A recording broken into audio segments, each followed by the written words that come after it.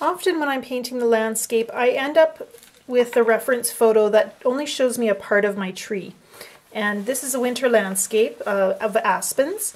And it's just a very simple exercise. I was working on painting trees and I find the, the completed painting a little bit boring. I probably wouldn't frame this or anything, but it was a good exercise in just getting a really frosty look and getting a wintry tree look. And it also is a really good way of showing you how how to paint a, an aspen tree trunk and branches in the winter. So we're going to just go walk through that step by step here. First thing you'll want to do is choose the right colors for your for your trees. And I'm going to be using ultramarine blue and burnt umber. And the thing about those two colors is when you blend them together, you get a gray. And a little more blue, and of course it's a blue-gray, a little more brown, and it's a little more gray yet.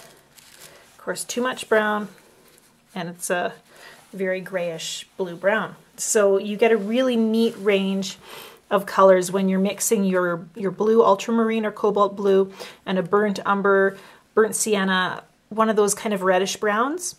And when you mix those two together, you get a beautiful neutral. So I love using those for painting winter scenes, for painting snow, shadows, anytime I need a neutral gray. So that's what I'm going to be using for my tree trunks. And I'm just going to start, make sure I have the, my mix the way I want it. I want it a little bit more on the blue side, I think. And then you know, when you're painting, I'm going to go this way actually.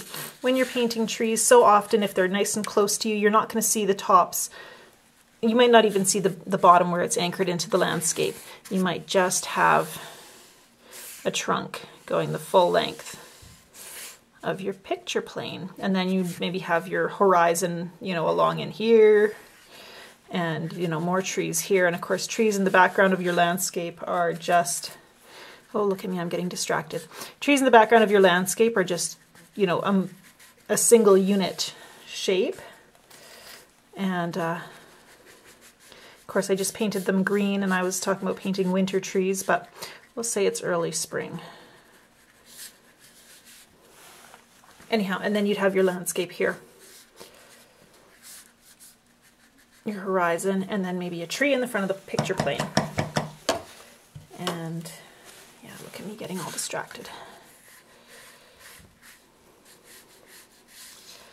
Of course, when you're painting a landscape, you want to be aware of where you're placing your your close-up focal point elements. Even if you end up painting your background first, you need to have an idea of where they're going to be positioned on the page.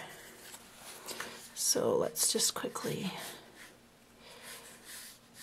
now I moistened this area as well, so we have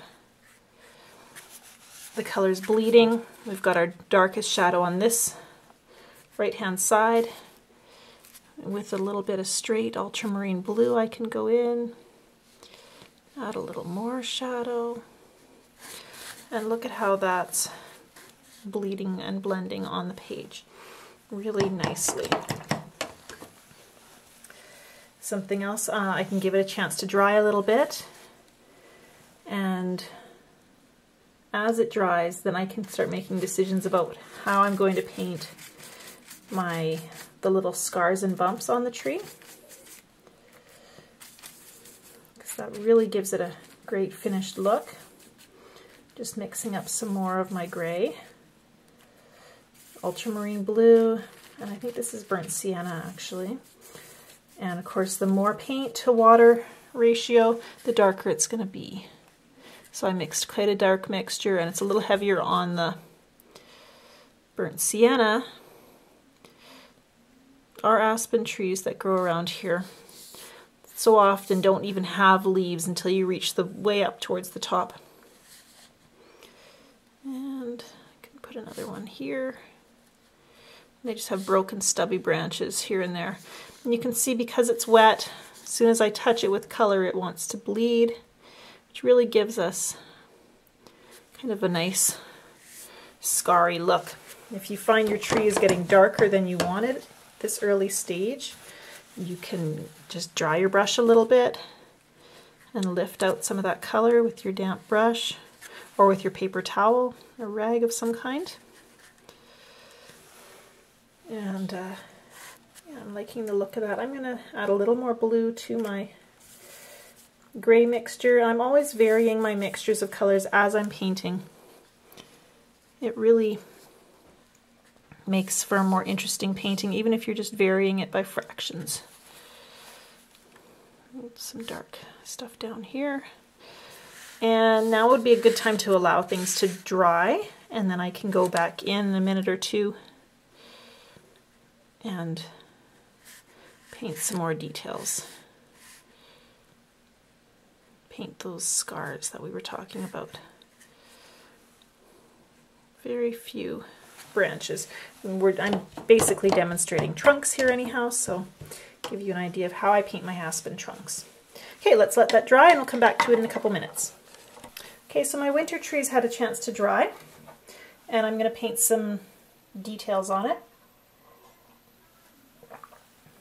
And ordinarily I would use Payne's Gray, which is what I've used in this. Payne's Gray is a dark, dark, dark blue. And uh, it's got some black in it, which is why it's so dark. I don't have Payne's Gray in the palette I'm using today. And, uh, you know, it's not good to rely on anyone to color too much anyhow. So it's, sometimes it's good to just pull out and work with an unfamiliar palette and a few colors that you don't that you're used to using that you don't have all of a sudden gives you a chance to really try some new things, try some different color mixes. Maybe you'll learn something and get a little better. If you ever feel like you're getting stuck in a rut with your watercolor, with any kind of painting, try some new colors.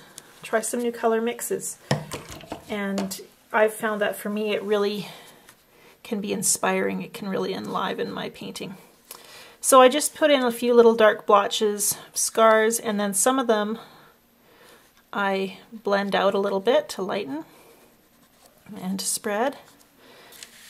And you can see already the character that's adding to my tree. Not overdoing it, I hope. Depending on the age of the tree, and the type of tree, you're going to have maybe more texture than other others. In our northern region, there are actually not a not as many tree varieties that really survive well over the winter, at least not in the wild. And so I've really built my landscapes around the aspen and the evergreen trees that grow in the north here.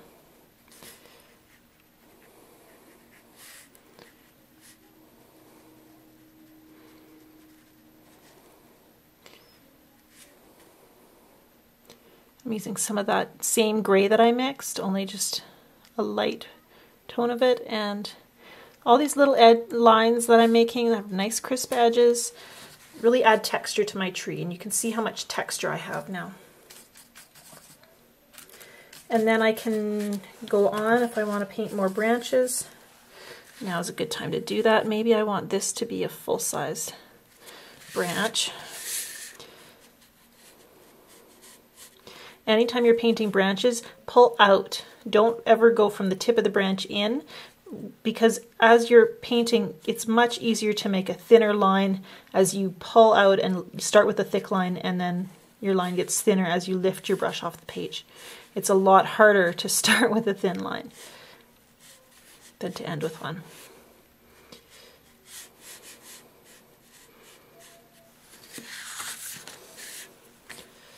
And I quite like that actually.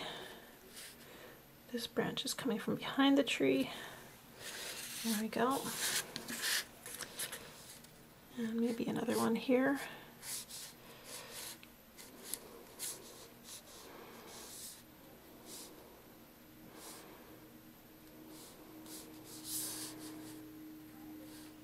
that one got a little thicker than I wanted, so I decided to make it more of a supporting branch coming out from behind the tree as well.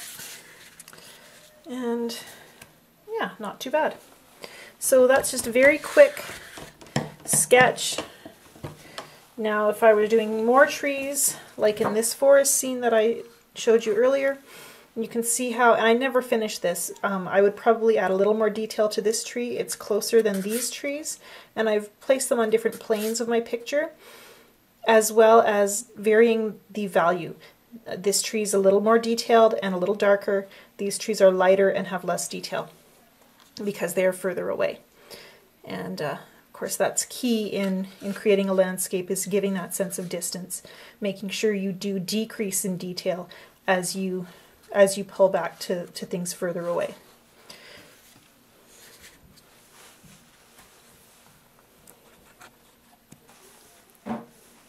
Okay, let's paint autumn trees. Again, with my aspens. Aspens in autumn. And we're going to start with the leaves. Aspens are very yellow in the autumn. I'm going to take some artistic license and add some oranges as well. I'm just going to start by painting my tree shape. And in this case, we're going to do a mass of several.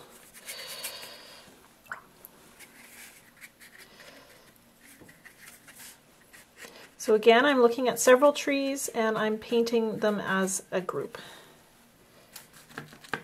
Got quinacridone gold, which is kind of an orangey gold, and Indian yellow, which is vibrant and very true to the brilliant yellows we get with our aspens. I really like this idea of just kind of trailing off in a lighter color. Generally the tips of trees, branches, there's just a few leaves and so it's going to be lighter anyhow. And now I'm going to pull out some orange. Just touch in a little bit here and there. That's a very orangey orange. I think it's Perylene orange or something like that. Some more quinacridone gold. And this tree hasn't completely converted, so let's put some greens in there. Just gonna grab some sap green. And for some reason it's looking very brown, so I might need to clean my brush here. I think it's looking so brown because I grabbed my green gold, and this particular brand of green gold is quite brownish. Little bits of green. And if you touch pure color into quite a wet wash, it's going to want to bleed and give you some great mixes. Now, a tree on a sunny day especially is going to have some shadow. So let's paint in some of those shadows. Now what do you think we should use to paint a shadow in a tree, in a yellow tree? I'll tell you what I like to use and that is purple. So I just grabbed a little bit of dioxazine violet. And what the purple does when it hits the yellow is it mixes and creates a neutral. Which gives us a gray. And if it doesn't mix, then it's quite purple looking, and if it does, you get more of a gray tone. And I've just got a ton of beautiful colors in my tree here, which I'm really enjoying. The top of my tree here is looking a little neglected. Let's add some more color to that part. And maybe some green.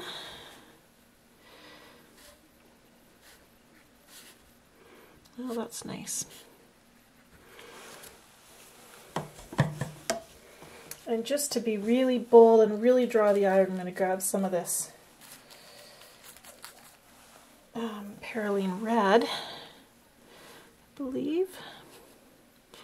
And just in a few areas, I'm going to add that brilliant crimson. Just because I want a tree that no one will forget.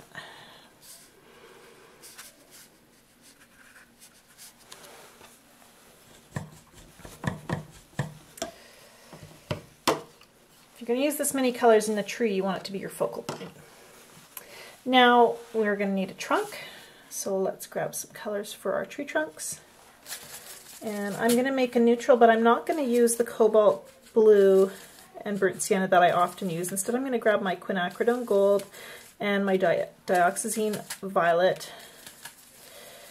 Those two colors are complementary, so when you mix them, I'll just show you on a separate sheet of paper, you get a neutral. Look at that, it's, oh, it's beautiful. And you can vary the quantities of and proportions of violet to gold to get different tones. It's a little more purple in that one. This is a little bit more gold and then it's almost a rich brown. So you can see the variety of neutrals you get there. Mixing complementary colors is a fantastic way to get fascinating neutrals and much more fun than just pulling out a gray or a brown out of a tube.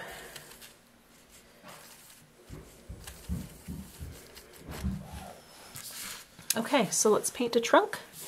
And this tree is gonna have my trunk coming down from here. And that's pretty brown still. So I'm gonna grab a little more of that violet.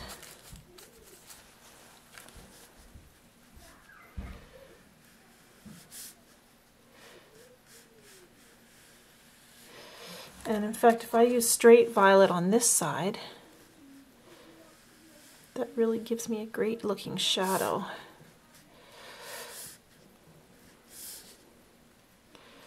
And then I can start painting some branches. And again, I'm pulling out from the trunk because generally when you first touch your brush to paper, your color is, or your line is going to be thicker. And then you can lift it as you go and get a thinner line. It's very hard to go the other way.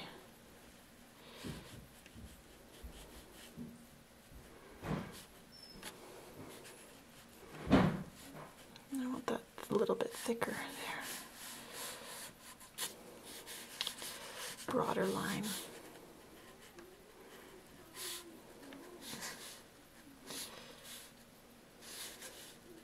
Because my tree is still damp, I get color bleeding in whenever I touch my branches to my trees, and I'm okay with that. I kind of like it. And this tree uh, it could be a single tree that really is spreading out sideways. Not so true to our aspens around here, but I like the I like the look of it anyhow. And uh, like I said before, if you're painting, I like my trunk to blend into the landscape, so I usually pull the color right down onto my picture plane here and then I can go in uh, and I have a place to work from so my tree looks anchored into the environment. Not so much on this side, right? You take some of those colors and and again I'm pulling up because my brush strokes are going to get lighter as they are thinner as they come up.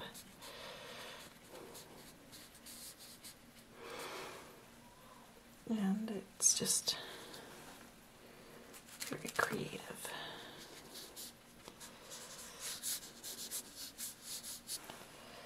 And wherever I want the, if I drop that purple in,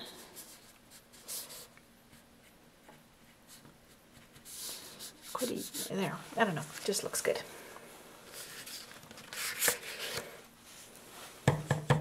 Maybe I want more trees in the background. So I can grab some of that violet and gold mixture again. I'm going to go a little stronger on the violet to make it cooler. Generally, objects become cooler as they recede into the distance, and that is, there's different color theory reasons for that, which uh, you can learn if you turn into a color theory nerd like me.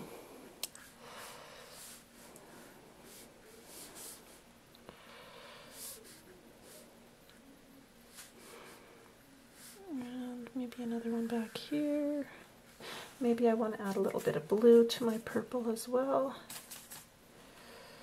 Having trouble getting just the right mix that I want. And that sometimes happens.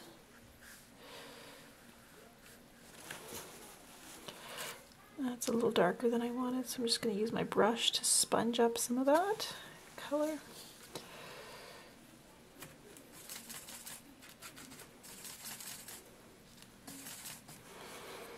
And another tree trunk back here.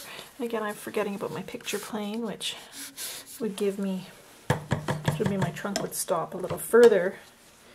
If this tree is further away than this one, then it needs to end up the, the base of it needs to be further up on the page as well.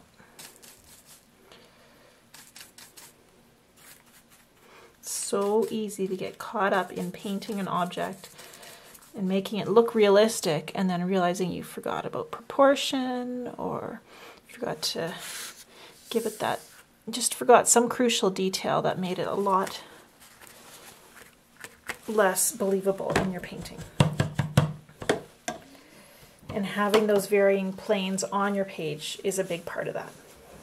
Okay, so this has had a chance to dry a little bit. It's still quite damp. I just felt it with the back of my finger. It still feels cool, so I know it's damp. I'm going to give it a chance to dry, and then I'm going to go back in and just add a, a little bit of detail, a few crisp edges to really give it a finished look. But already I'm really liking the look of my autumn tree. It's very painterly and colorful, and as, I don't know, it just has some really neat mixes of color that are happening. I'll just zoom in a little bit so you can see them. Really like this area right here, that interesting blend of color. And then over here as well, you can see some edges and a little hint of branch and a little hint of maybe a, a gust of wind or a breeze making those leaves wiggle. So we're just coming back to my dried autumn trees. And my leaves are fully dry, my trunks are dry. I'm ready to go in and add some final details to this painting. And I'm going to start by just adding some, some interesting crisp lines to my trees. I'm starting with the trees because I find that if you work from top to bottom, you're not going to be resting your hand in wet paint, which is always a good thing. You don't want to smudge your areas that you've worked so hard to to make lovely. I kind of had a muddyish yellow mix in my palette already, so I'm using that to, to go in. And what I really want to do is just put some depth in my trees. I'm not really crazy about that muddy yellow color, actually. Let's grab something a little more vibrant. because everything, when you're painting wet and wet, everything blends together, you don't get a lot of crisp lines. So it's a good idea if you want to add some more, if you want to draw the eye and add some more detail, to go in and add some, some lines, some areas that have those crisp edges. It's a way of adding texture to your painting. And I also find that near the center of the tree it's going to be darker, there's going to be more shadow. So you can keep that in mind as you as you paint.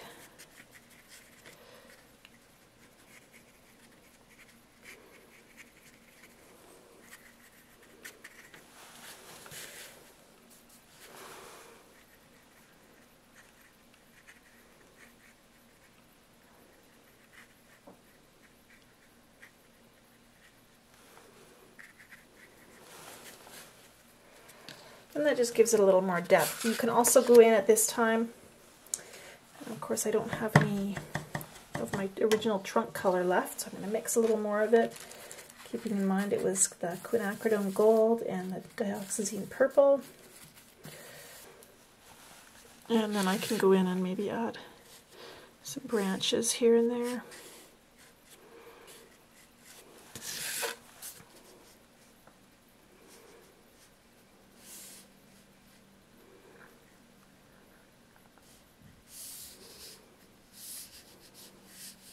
And the other thing I could do is go back in and add some texture to my trees.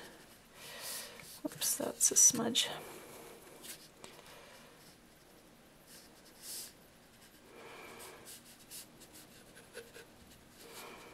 It's up to you how much texture you want to add. Um, you can use a dry brush technique to just use the roughness of the paper. Just let your brush kind of skip across. Dry brush being that your brush is basically dry. Oops. And has very little paint on it.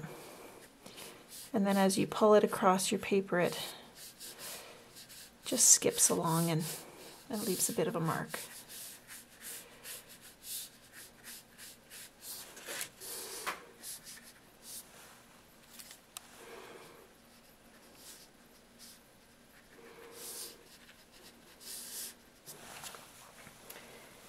And I'm going to call that done.